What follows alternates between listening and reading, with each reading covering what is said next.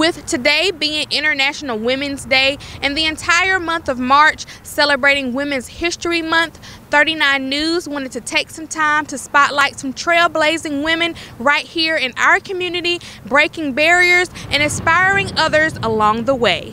Just makes me so happy to know that we're continuing to trailblaze along the journey of making our city better as a whole and not just, um, you know, this side here, this side there.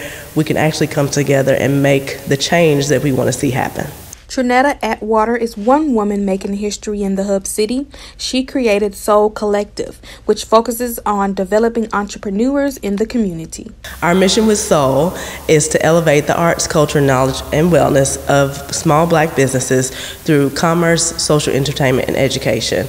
And we have programs that basically teaches those who have passion for business and they have this thing that they want to do, we're teaching them the basics of business. The Soul Collective is the first of its kind and is expected to open in the historic train depot in May, but has already started teaching their first cohort at the Co in Jackson. Beth Culpepper at the Humboldt Chamber of Commerce talks about how humbling it is for her to work for the city and push for growth in the area. The Humboldt Chamber, we're made up of three women.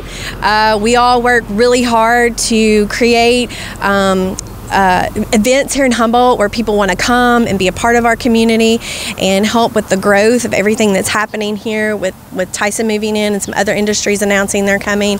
And we're just excited to be a small part of that and feel like uh, we just, we kind of play a background role, but we love to be in the background and in the shadows and then feature all the good that Humboldt has to offer.